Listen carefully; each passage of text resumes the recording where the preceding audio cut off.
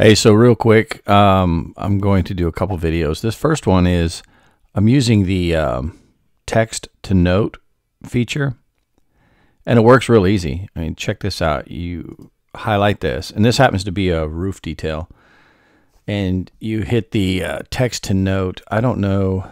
It's this magic wand thing here with the N symbol, but I've made a Stream Deck button, which. Um, let me just show you what that looks like. so right here, text to note, I made it look the same. So let's go back here. I'm going to push that button. Actually, I'll click this one down here. It comes up and it wants to go to this default architectural plan notes. I don't know how you change the default, but I created my own.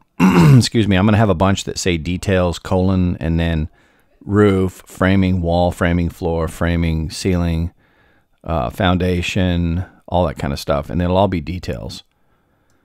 Because um, if you just let it default and you use that for everything, you're going to end up with multiple schedules that are on the same uh, layer, or whatever they call that. And you'll end up with like one comma one. Or if you have three, it's one comma one comma one. So it's confusing. anyway, so detail roof, hit OK. Look at that. It took that text, made it number seven, and put it over here. So I'm going to do these last two, right, or these last three right here. Uh, text to note. And then detail roof. Okay. Do this one, text to note. See how fast that goes? I've just found only one problem that um, totally makes sense, but it sucks. Text to note roof. Okay. So there we go. We got all of them done. And uh, the problem I have is, first of all, I can't block this. There's no way to block it down here. So then there's no way to put this into my user library. And I totally get why, because you might have a bunch of different schedules in your user library all reading different things, and I'm sure it would get conflicted really quickly. So that's not going to be a thing. It won't work. But I could do a CAD detail from view and see how that works. So there we go. Now I've got a CAD detail from view, but check that out. What happened there? I'm going to put all the text to the same. I, I want this AR modified all it is is this is Arial, but it's modified to give uh, superscript in window and door dimensions. So I wonder what is going on here versus what is going on here. Look at that. So there's what it looks like in the plan view. Here's what it looks like. It's like the text doesn't wrap correctly. Something's going on here. Why am I getting a blue circle? I want to highlight. Oh, you know what? These are just lines. That's what's going on. Okay. That's not going to work. So let's try this instead. Let's do highlight all this. Command copy. Go to new uh, yeah, untitle's fine because I'm going to delete it. And then go Command V, paste. Oh, see? Okay. Very good. Okay, so when you use this blue CAD detail from view, it's just going to take the, everything on this page as lines. But if you copy and paste it into, um, now who the hell's walking down? If you paste it in, uh, you end up having an actual table that works, a schedule that works type thing.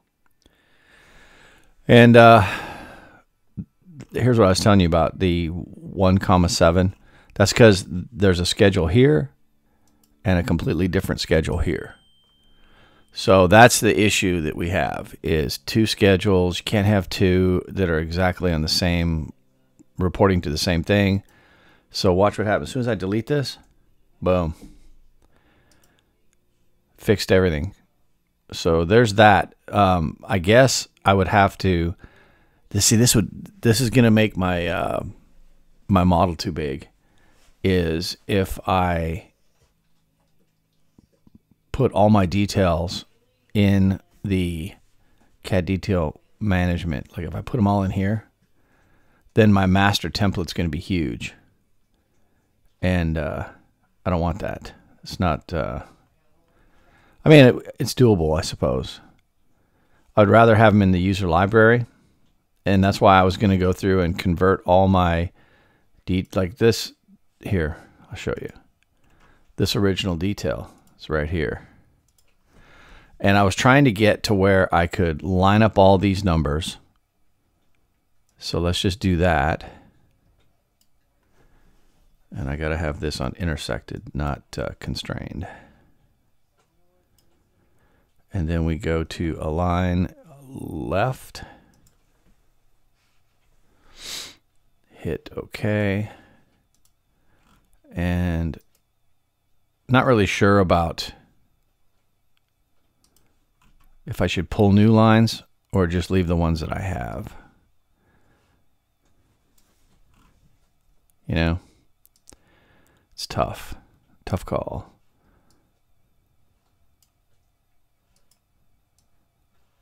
Okay, so yeah, some of these are not lining up where I would want them. So you grab the red, bring it over to the center, and then drag it over. So and then the other thing I'm doing with this line right here is the hinge point, or whatever that's called. Trying to make that look uniform. Whoops. There's my dog. He's in the background gagging on something. Um, you, you get the point though, right? Where I'm headed with this. You drag it over, you bring it down till it lines up, and you make sure that here, let's see. Drag it to there, bring this over till it snaps. And then you just make sure that the notes are um, over, what do you call that? Um, to the front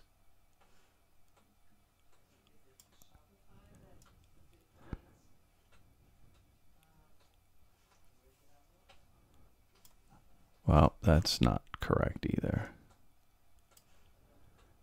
Yeah, so this one we're just going to do new. Click on here, grab this, bring it over to here. Grab this and go like this. Hold down control or command.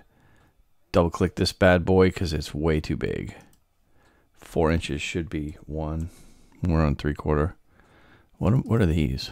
One and a half. Okay, so one and a half is the text size, and normally, excuse me, normally I make it a little smaller than the text size. But see, that looks not too bad. That's kind of the look I was going for. Get rid of this. The numbering would be nice and clean and straight. Um, here would be your text so that somebody could follow along. You can order these in any number, like um, let's say you wanted number eight first. Grab here, drag it up to here. So now number eight became number one.